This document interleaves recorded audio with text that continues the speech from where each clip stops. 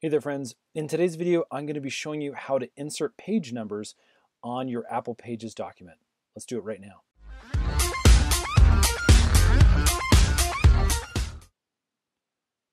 Okay, so I've got a very simple document opened up here in Apple Pages and what we want to do is we want to start inserting page numbers so that they automatically adjust and insert once we add text enough to bring on a brand new page.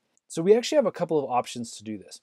The first is to come to the top, and once you hover over the header area, you can actually see your cursor will shift to this insert icon, and you can actually just click right on that area.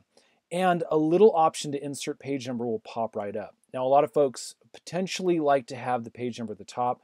I prefer to have the page number at the bottom. So what I'm going to do is I'm going to scroll down here to the bottom, and as you can see, the footer area also invisibly will pop up here once you hover over the right area. I'm going to click on that and then I'm going to click on insert page number right here. Now from here you can see we have a number of different styles for the type of page number that you want to display. You can just have the single digit, you can have one of one, page one, or page one of one. I'm just going to do this specific number and we'll do that. Now again, as soon as you add pages, you can actually see this begin to adjust. So let's say I'm typing here and I bring my cursor and I'm typing all the way down to the bottom of the document.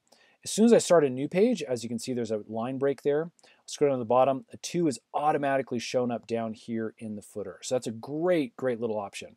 Let me show you one more trick if you'd like the page numbers to show up in a different place. So what we can do after we've chosen the place where we want the page number to show up is come up here to the insert function. I'm going to click on that. It's going to drop down a menu. And as you can see, we can insert the page number. Let me click on this.